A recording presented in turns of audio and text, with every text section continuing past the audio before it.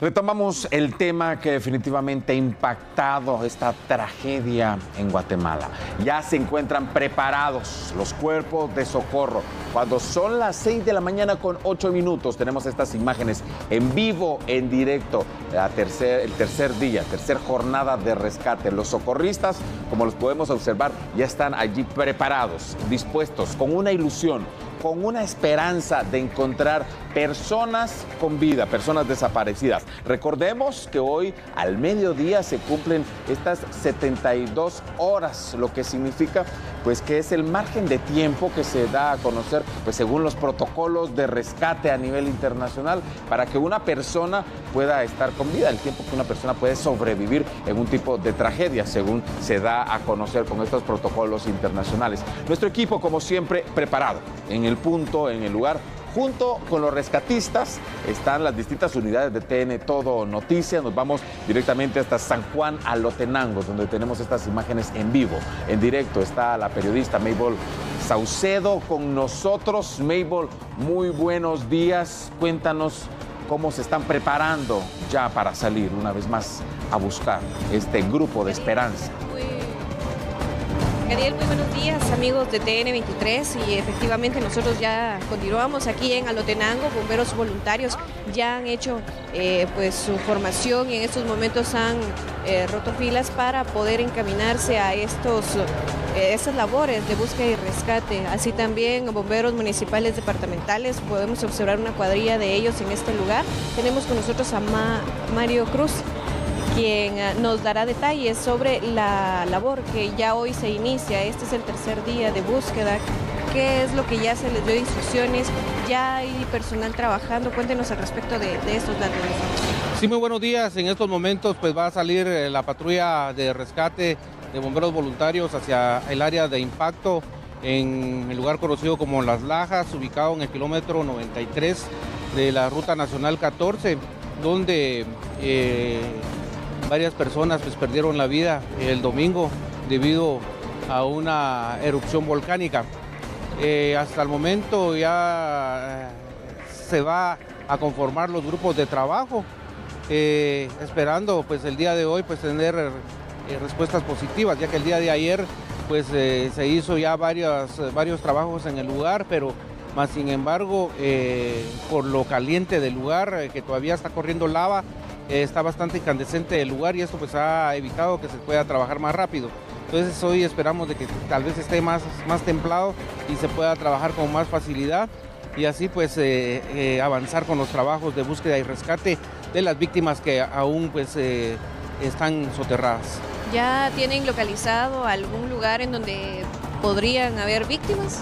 Sí, se tiene ya un punto, pero no sabemos si exactamente puedan haber víctimas en ese lugar, pues eh, eh, lo tenemos ya eh, marcado, pero hasta que no se hagan las excavaciones respectivas, pues no vamos a tener la respuesta si hay personas en el lugar. ¿De, cuánto, ¿De cuánta profundidad estamos hablando aproximadamente del trabajo que se está realizando? Bueno, de la profundidad, hay lugares que tienen uno, dos metros hasta, hasta cuatro metros de profundidad. Este es el trabajo que se está realizando. Ayer se hizo un marcaje y esto es lo que se pudo hacer el día de ayer, ya que eh, tuvimos eh, varias evacuaciones eh, durante los, las labores debido a que el volcán pues estaba haciendo varias explosiones y esto pues nos daba temor a que pudiera producirse nuevamente un, otro lajar. Eh, oficial. En estos momentos en, las imágenes de TN Todo Noticias se pudo observar una erupción, una, explosión más. En estos momentos pues eh, no ha sido tan grande como obviamente fue la del día domingo, pero estas podrían dificultar la labor que ustedes realizan? Bueno, las que se están observando en esta mañana pues eh, son como la que las normales, es como la, de, la del cráter normal, que esta pues casi todos los días las mantiene. lo peligroso es cuando hay una explosión bastante potente, ya que según tenemos conocimiento, se formó otro cráter y este fue el que provocó este, esta, este deslizamiento.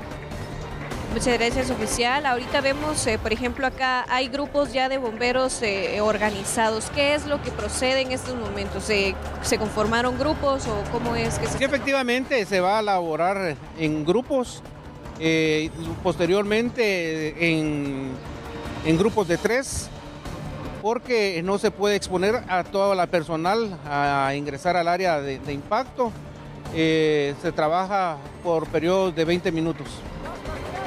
Muchas gracias, oficial. Bueno, vamos a estar pendientes de, más información que, se genere en este lugar. ¿En qué momento saldrá los rescatistas? Ya, ya tienen la orden de salida, ya en estos momentos ya solo se están coordinando eh, el, personal en qué unidades van. Eh, efectivamente. Muchas gracias, oficial. Bueno, como ustedes pueden observar, entonces en estos momentos también algunos voluntarios eh, traen algunos panes, también café para los socorristas que ya están por partir. Acá también pues bomberos municipales departamentales también ya se encuentran presentes eh, en apresto ya para poder iniciar labores este día.